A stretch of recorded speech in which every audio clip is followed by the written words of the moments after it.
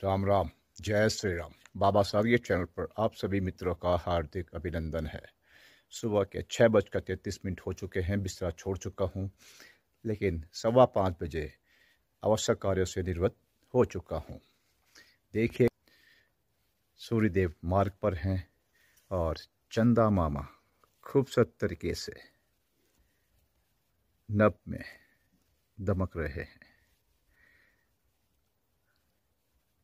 साथ में एक तारा भी है, जैसे चंदा मामा को टीका लगाया गया हो।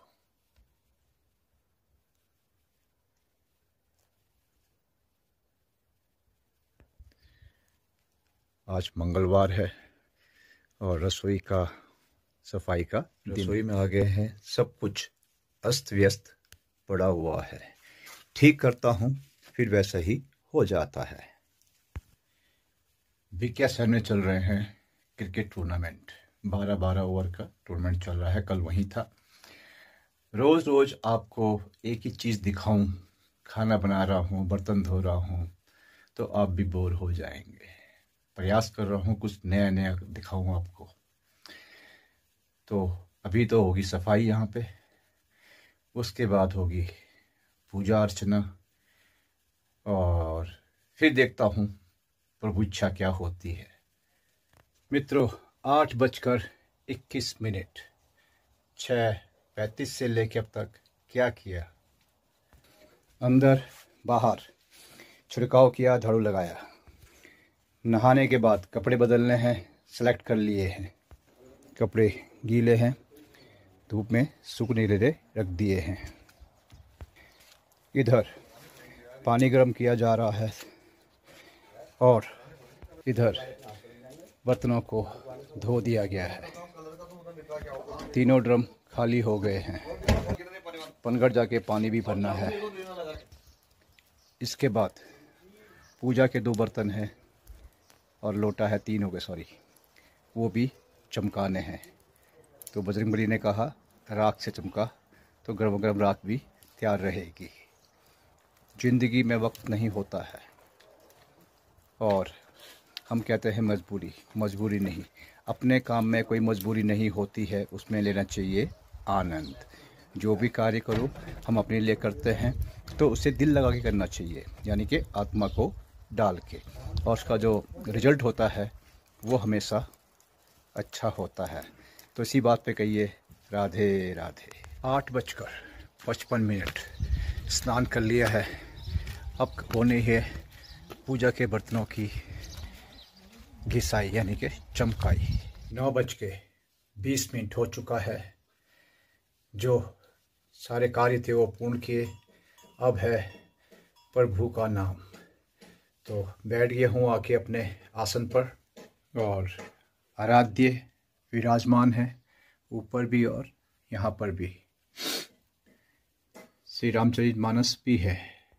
दिन पहले मार्केट में गीता का ज्ञान ये नामक पुस्तक मिली, इसे पढ़ा तो पाया कि ये असली गीता नहीं है।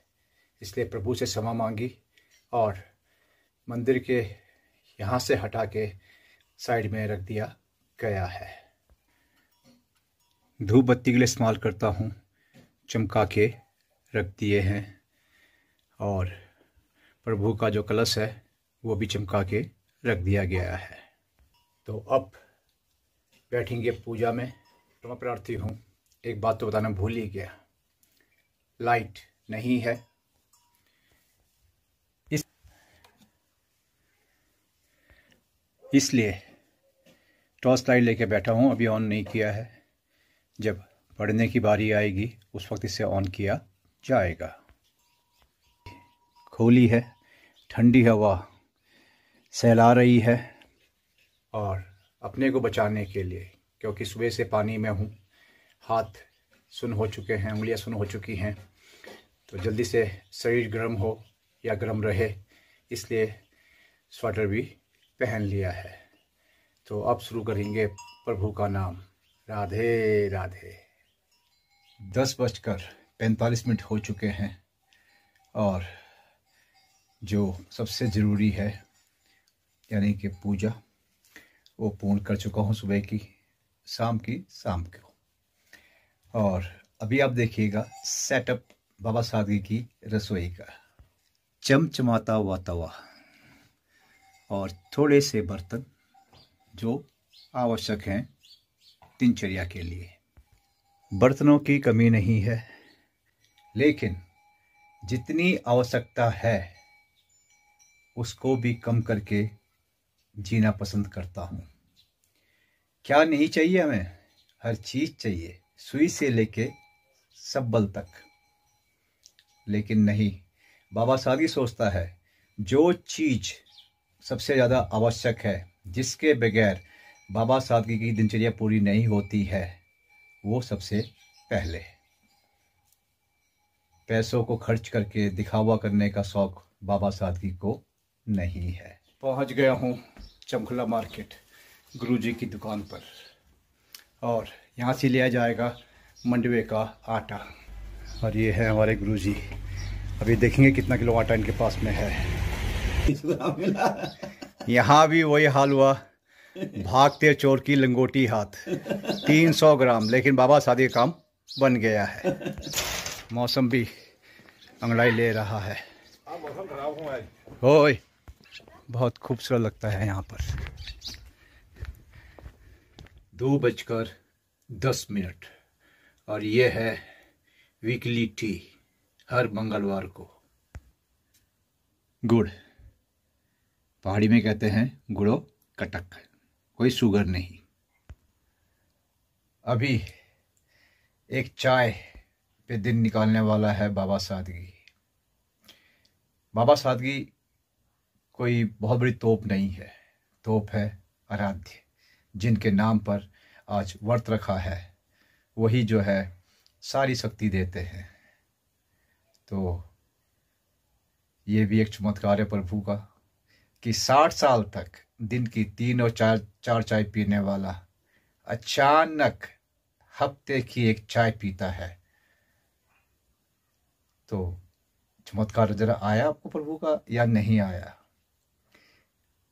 यकीन करेंगे तो आएगा, क्योंकि वो जो है, इतने शक्तिशाली हैं कि वो जब चाहें तब वो सब कर सकते हैं। तो बाबा सादगी की एक चाय पे उनकी जो दया होती है, वो हफ़्ते भर के लिए होती है। तो अब चाय पी जाएगी, और शाम को प्रभु के लिए कुछ नया बनाने वाला हूँ। तब तक के लिए राधे राधे मौसम बदल गया है। बादल छा गए हैं। यदि बारिश हुई, अभी इस सब क्लियर है। यदि बारिश हुई तो फिर पावर जाएगी। पावर जाएगी तो सारा काम खराब हो जाएगा।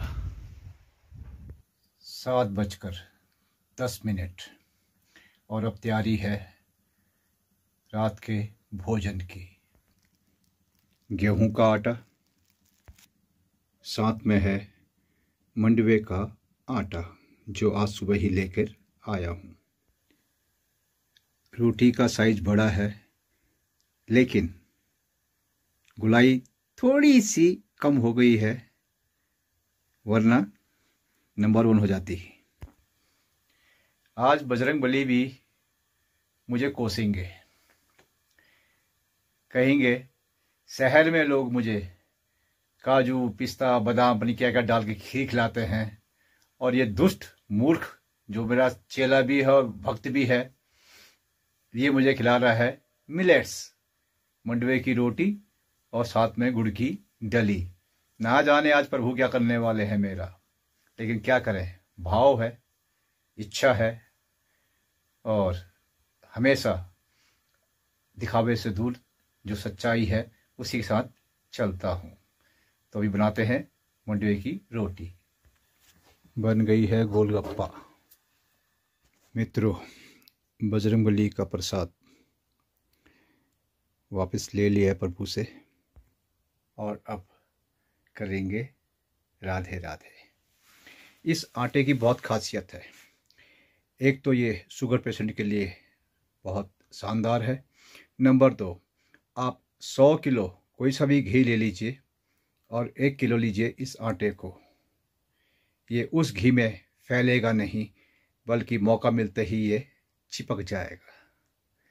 तो इसकी ताकत ये दिखाता है कि इसके अंदर की ताकत है और इसे खाने वाले के अंदर में कितनी ताकत होगी, ये हमारे बुज़ुर्गों ने सिद्ध कर दिया है।